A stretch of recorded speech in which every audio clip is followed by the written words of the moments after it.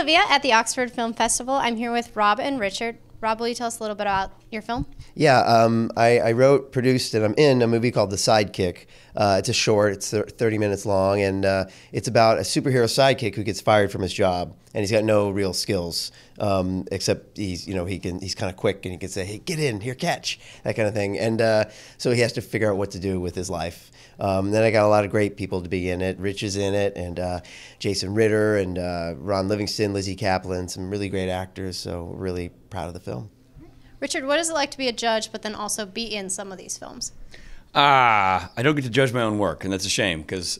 But we're all judging. I would have voted for your film probably because um, I'm in it. Uh, it's actually really interesting. I I was introduced to this festival last year because I had a film that I wrote and directed that screened here.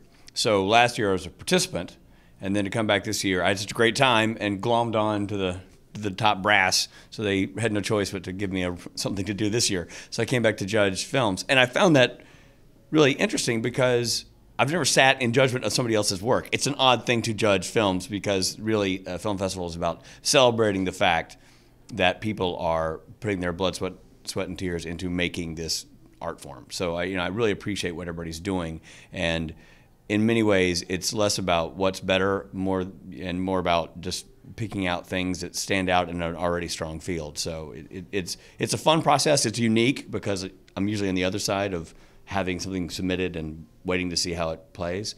So it's an odd role reversal, and it, I'm enjoying it, but it's also kind of strange. Yeah, it is a weird thing to judge movies like that, isn't it? I mean, when you go see a, pay to see a movie, um, you're you know it's easy to judge, but um, but you know we're doing these audience uh, judging things where we we're supposed to rank the movies one to five, and it's really hard to give um, even a movie that you're not as thrilled with, to get, you know because they made such an effort to, to make it, so it's, it's it is it's hard to judge. And you and there's a lot of that at play here. I mean, there's a lot of films you can tell.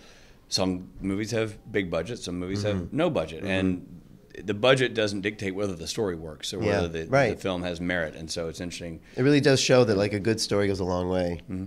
And what is it like knowing how much work goes into it, and then you see it on a big screen like that? Can you explain the feeling of specifically the film you guys mm-hmm. are in? What is it like to be sitting back and watching people watch your film? It's it's pretty awesome. It's pretty awesome. I mean, you know, having written it, like, and he, you know, wrote America 101 last year. Like, it's it, it it's an idea in your head, this nugget in your head, and just on the day you're shooting it, you're like, wow, this is great. And then you get to see the finished product. But then to share it with other people, mine is a comedy, and some people laugh at the right spots. You're like, ah, good. You know, it's, it's a great feeling. I would imagine you find, and I did with America 101, that some places where you know there's going to re- be a reaction, mm-hmm. there's not what you expected. Mm-hmm. And then mm-hmm. some moment that you think is just going to mm-hmm. cruise by, it gets a reaction. Yeah. So certainly the audience has a different perception, and it, each audience is different too. Mm-hmm. You could play it on Friday and get one, one reaction, play it on Saturday and get something else. And regardless of the fact that it's not a live performance, it's just somebody up in a booth hitting play, I'm a nervous wreck. Yeah, like watching my own film with a crowd, I'm a nervous wreck. Like, like I'm going to screw it up. I know, I know. Yeah, all the work is done. and it's yet, too late. All right. Well, thank you very much, guys. Yeah, thank you. Thank you.